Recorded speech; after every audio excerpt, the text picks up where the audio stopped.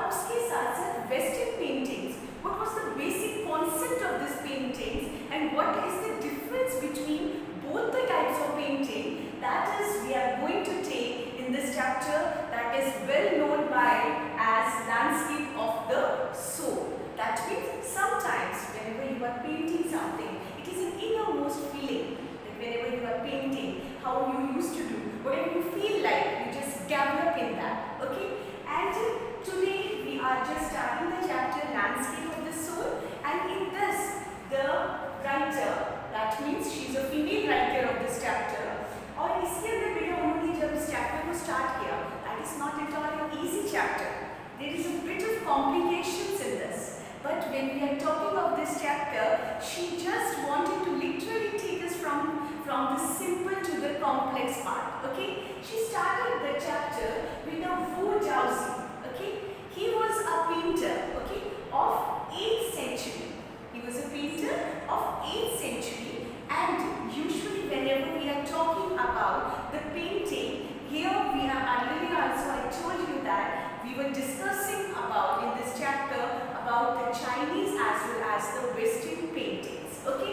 Now let's talk about Bojausi. He was a painter of 8th century and in his painting, uh, the king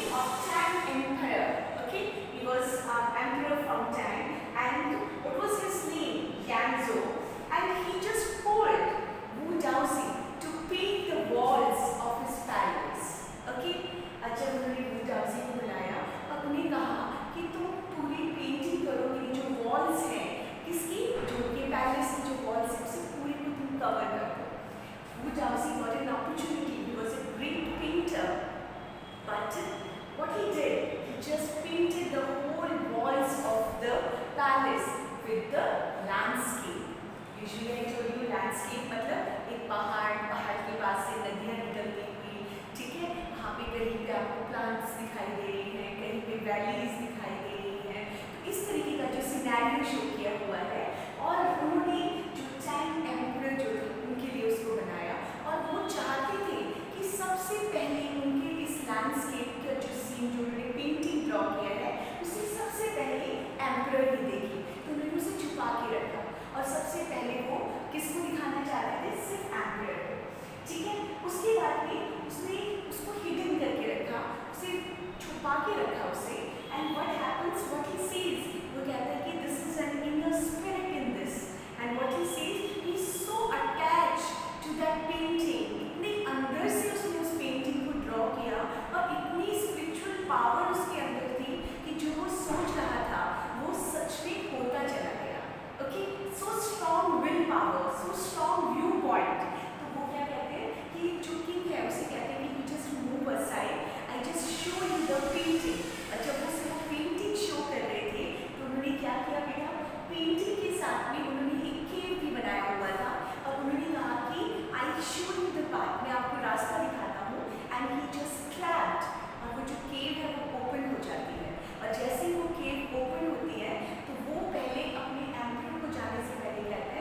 to meet him.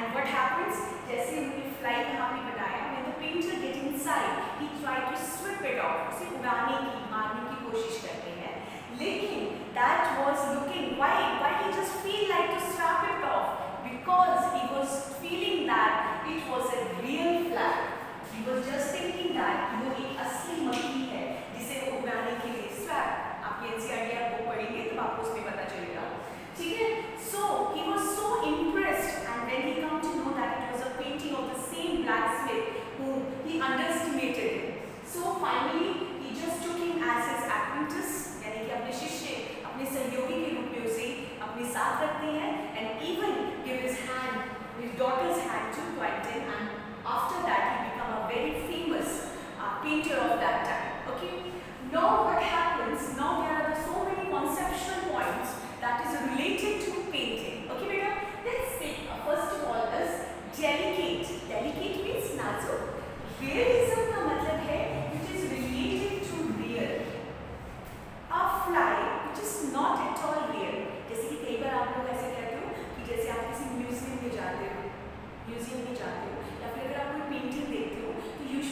see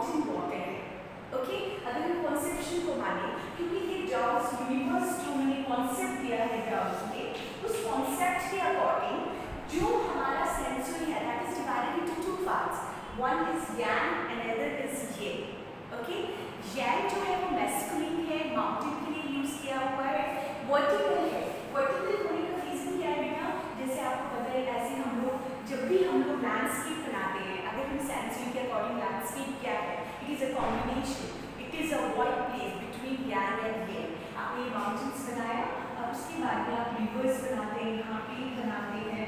ऐसे कितने सारे conceptual view एक side में सन है shape है clouds है। All these are parts of landscape and what you see yang is a mountain and yin is a water. And she is feminine